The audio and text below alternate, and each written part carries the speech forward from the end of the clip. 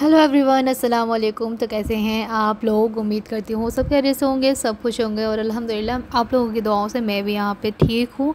और बस यहाँ पे मॉर्निंग टाइम है तो ब्रेकफास्ट की तैयारी चल रही है भाई। तो आज जो है दलिया खाने का मन है तो आज हम दलिया बना रहे हैं अपने लिए और पापा जी के लिए भी। तो बस यहाँ पर दलिया भुना नहीं था, वो ऐसे ही रखा हुआ था तो फिर भून लिया है मैंने अभी ज़्यादा सा। तो क्या है ना, भून के रख दिया है तो कभी जल्दबाजी होती है तो कभी कभी हम लोग ऐसे ही बना लेते हैं हैं तुरंत।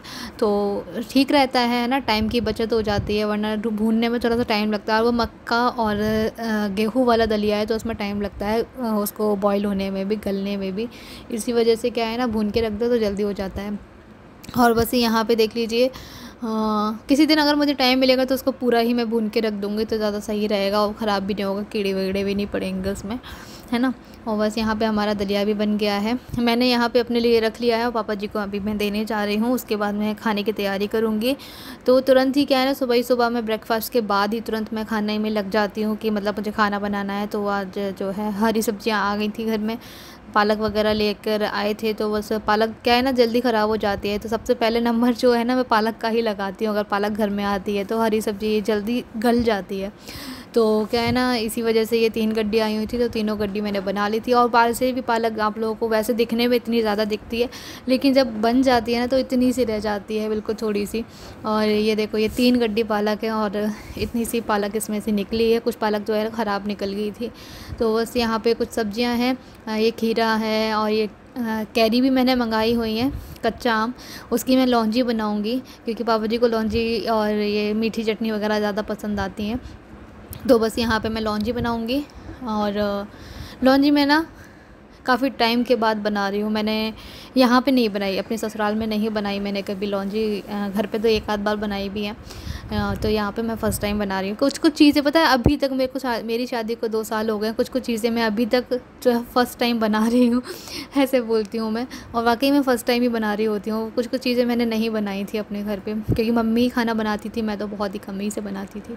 और बस यहाँ पर देख लीजिए, यहाँ पर अभी लॉन्जी बन रही है तो घी डाल दिया है मैंने, उसको गर्म होने दिया, उसमें जीरा डाल दिया जीरा थोड़ा सा चटक गया उसके बाद में मैंने यहाँ पर ये कैरी जो कच्ची कैरी होती है ना कच्चा आम वो डाल दिया इसमें कट करके धो के अच्छे से। और इसको मैं थोड़ा सा फ्राई कर लूँगी क्योंकि फ्राई करने से ना अच्छा रहता है। और कुछ कुछ लोग क्या है ना इसको हल्का सा बॉईल कर लेते हैं तो भी अच्छा रहता है क्योंकि उसका जो आ, थोड़ा सा जो कच्चापन होता है ना वो निकल जाता है। और खट्टापन भी होता है, वो भी हल्का सा निकल जाता है क्योंकि हल्का सा बॉईल हो जाती है जब कैरी तो तो बस मैंने फ्राई कर लिया था, मैंने उसको बॉईल नहीं किया था। और बस यहाँ पे देख लीजिए, मैंने कुछ मसाले लिए थे हल्दी पाउडर मिर्च पाउडर और धनिया पाउडर ये तीन चीज़ ली हैं मैंने। नमक मैं लास्ट में डालूँगी क्योंकि नमक का अंदाज़ा नहीं रहता है, क्योंकि थोड़ी सी दिखती है, लेकिन फिर वो ज़्यादा हो जाती है। यहाँ पर पालक आलू भी मैंने बना दिए थे तो बस अभी यहाँ पे पालक आलू भी बन चुके हैं हमारे और यहाँ पे लौंची। तो आज ये सिंपल सी दो सब्ज़ियाँ बनाई हैं मैंने। ज़्यादा कुछ अच्छा नहीं लगता है, क्योंकि गर्मियाँ हैं ना, गर्मियों में कुछ भी ज़्यादा कुछ मतलब मसालेदार खाने का मन नहीं करता है तो इसलिए सिंपल खाना ही अच्छा रहता है, कम मसाले और कम चीज़ों में बन जाती है तो। और बस यहाँ पर देख लीजिए हमारी जो मसाला था ना, वो अच्छे से भुन गया था, उसके बाद में मैंने यहाँ पर कैरियाँ डाली थी कच्ची, और उसके बाद में मैंने पानी डाल दिया उसमें चीनी डाल दिया चीनी अभी मैंने ना थोड़ी सी डाली है, और फिर मैं बाद में जो है ना टेस्ट कर लूँगी। तो उसके हिसाब से फिर मैं चीनी डाल दूँगी। यहाँ पे अब लास्ट में डाल रही हूँ मैं इसमें नमक, क्योंकि नमक क्या है ना फिर पता नहीं चलता है। तो लास्ट में डालो तो सही रहता है। यहाँ पे हमारी लॉन्जी बन गई है एकदम। देख लीजिए, बहुत ही टेस्टी लग रही थी और लॉन्जी तो वैसे भी अच्छी लगती है ना।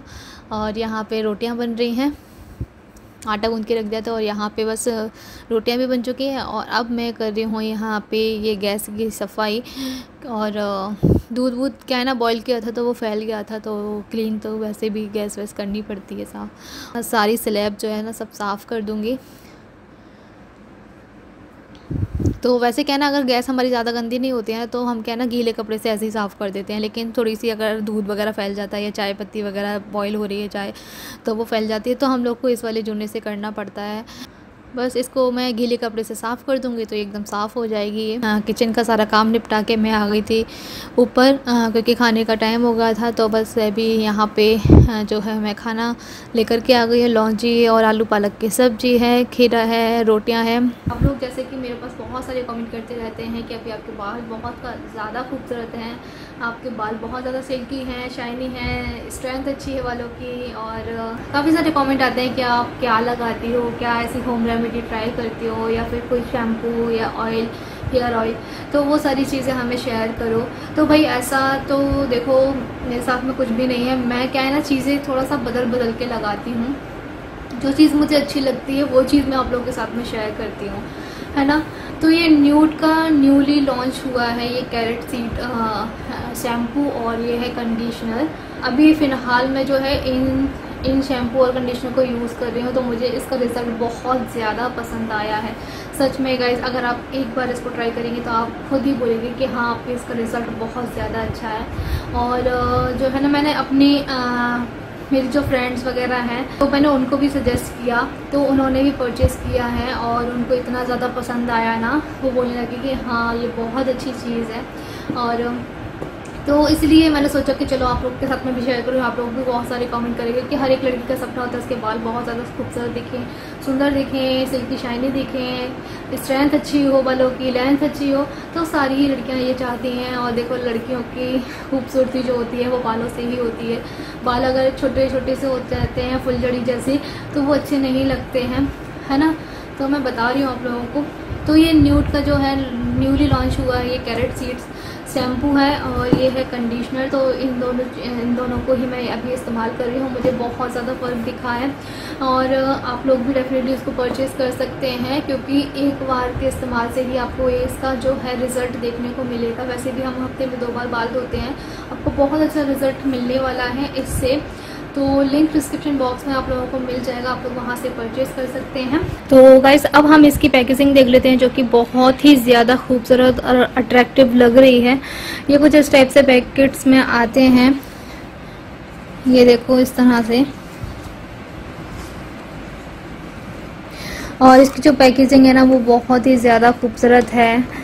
लीकेज फ्री है मतलब अगर आप ट्रैवल में कहीं ले भी जा रहे हैं तो बिल्कुल भी लीकेज नहीं होगा क्योंकि इसका ये कैप इस तरीके से लगाया गया है। और इसके साथ में हमें जो है ये आ, बैग मिलता है ताकि हम इस कहीं ट्रैवल पर जा रहे हैं तो हम इसको ले जा सकते हैं। और बहुत ही अच्छी मुझे जो है चीज़ लगी है ये। हम्म, इसकी पैकेजिंग सबसे ज़्यादा अट्रैक्ट कर रही है और रिज़ल्ट भी इसका बहुत ज़्यादा अच्छा आता है। तो ये था कंडीशनर, न्यूट का, कैरेट सीड हेयर कंडीशनर और ये है इसका शैम्पू, ये है इसका शैम्पू और इसके साथ में भी ये कैरी बैग आया है तो इस तरीके से है ये और तो यहाँ पे ये इसके इंग्रेडिएंट दिए हुए हैं कैरेट सीड्स ऑयल है fenugreek extract aloe vera extract glycerine है प्योरीफाइड वाटर है और ये है इसका कंडीशनर ये सारे इंग्रेडिएंट यहाँ पे दिए हुए हैं। Carrot seeds extract sunflower oil meadowfoam seeds vitamin E है, जो हमारे बालों के लिए बहुत ज़्यादा ज़रूरी होता है। कैरेट सीड्स हमारे बालों को बहुत ही ज़्यादा सिल्की शाइनी बनाता है। तो ये था न्यूट का कैरेट सीड्स हेयर कंडीशनर और शैम्पू। तो फ़िलहाल अभी मैं इसको यूज़ कर रही हूँ मुझे बहुत अच्छा रिज़ल्ट मिला है। और आप लोग भी अगर इसको परचेस करना चाहते हैं तो इसका परचेस लिंक मैंने डिस्क्रिप्शन बॉक्स में दिया हुआ है। आप लोग वहाँ से जाके परचेज़ कर सकते हैं। शानिया के साथ चलो तो यहाँ पर चल रही है बच्चों की मस्ती।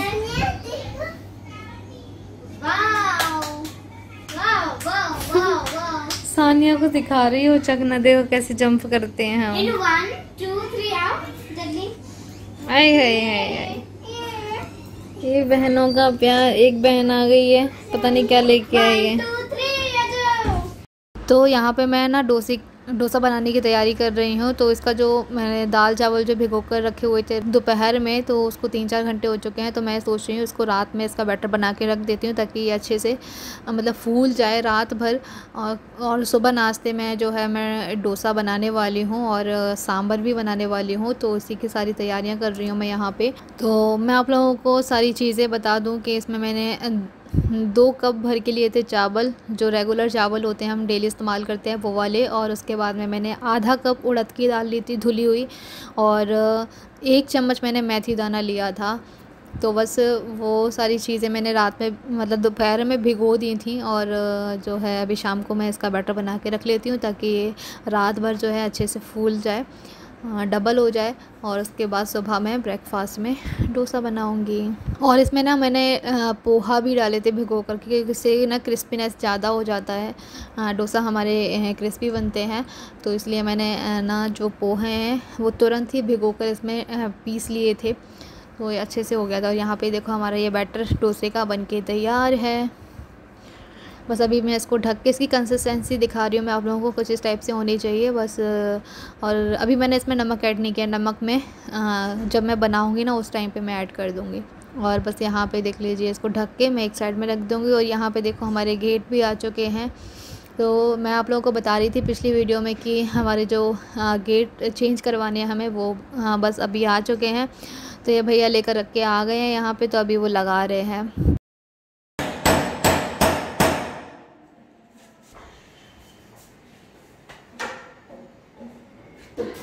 ये चीज़ें ये चाहिए सर टूट फूट ना हो तो चाहिए हमेशा के लिए सही रहे तो प्लास्टिक है ना सड़ने ना गलने अब तो मज़बूत था गए पहले से। नहीं थे पहले के हल्के आ रहे। नहीं तो इसलिए पहले तो जो तो पच्चीस पच्चीस छब्बीस छब्बीस हो गए थे।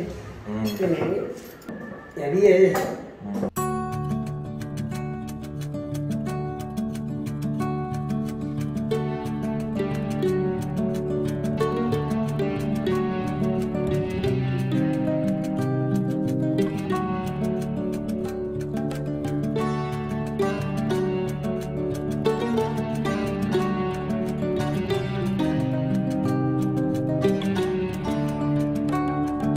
तो एक गेट तो लग चुका है, अब दूसरा गेट लगने जा रहा है और ये इसको चेक कर रहे थे कि कुंडी अच्छे से लग रही है या नहीं। तो बस अभी ये काम चल रहा है।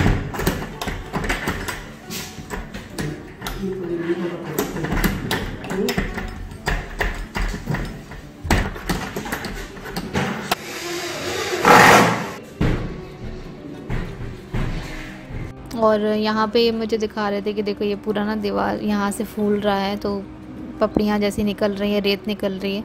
पूरा फूल चुका है यहाँ से। अभी ये दोनों गेट लग चुके हैं और ये भैया लेकर जा रहे हैं ऊपर वाला गेट, जो बाथरूम मैंने आप लोगों को दिखाई थी कि उसका गेट पूरा चढ़ रहा था तो वो चेंज होगा।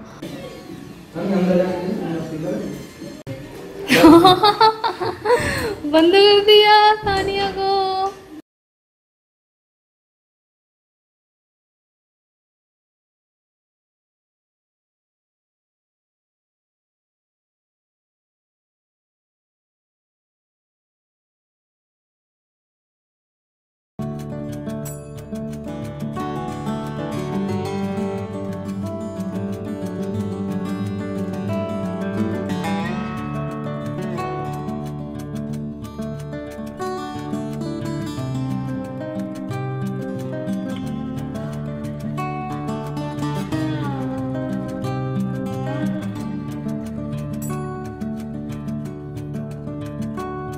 तो अभी जो है ये वाला गेट भी लग रहा है और भी जो छोटी छोटी सी चीज़ें होती हैं ना घर में तो उसको भी जो है चेक करवाना है। यहाँ पे ये गेट तो नया लगा हुआ है, लेकिन इसकी कुंडी नहीं लगती है तो हम लोगों ने इस तरीके से बाँध रखा था इसको तो फिर भाई इन्होंने जो है ना ये वाले भी इनको चेक करवा दिया है कि इसको भी ठीक कर दो, इसकी कुंडी नहीं लगती। और ये दिखा रहे हैं आप लोगों को ग्रिल कि देख ही सकते हैं आप लोग इसकी ग्रिल कितनी ज़्यादा सड़ रही है और पता है कोई भी अगर यहाँ पे बच्चा वगैरह कोई भी खड़ा होता है ना तो ये चुप जाता है हाथों में और ये जंग लगा हुआ है। तो ये सारी चीज़ें हम लोग को चेंज करवानी है। और बस मैं आ गई थी फिर यहाँ पे किचन में हाँ, शरबत बनाने के लिए क्योंकि जो भैया काम कर रहे हैं। तो मैंने उनसे पूछा था कि चाय पियोगे आप या शरबत? तो उन्होंने बोल दिया था कि शरबत पियेंगे क्योंकि गर्मी है गर्मी में चाय वो नहीं पीते हैं। तो बस यहाँ पर अभी मैं शरबत बना रही हूँ उनके लिए ऑरेंज जूस और बस उनको दे दूँगी।